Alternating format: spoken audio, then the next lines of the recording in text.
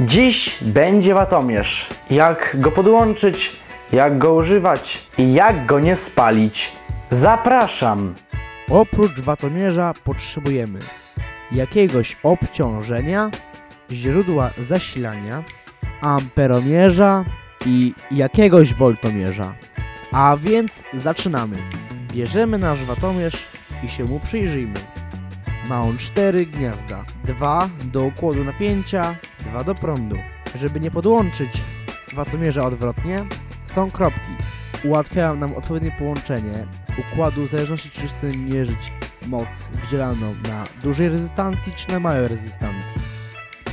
Układ do dużych rezystancji.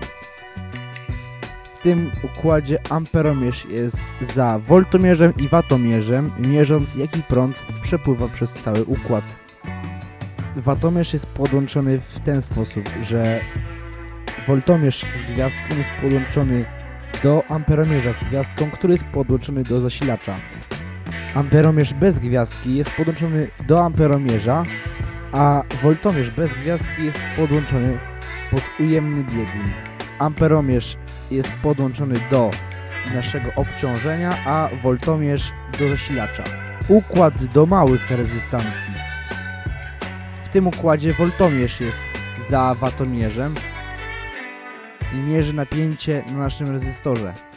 Watomierz, część prądowa w naszym watomierzu z kropką jest podłączona do amperomierza.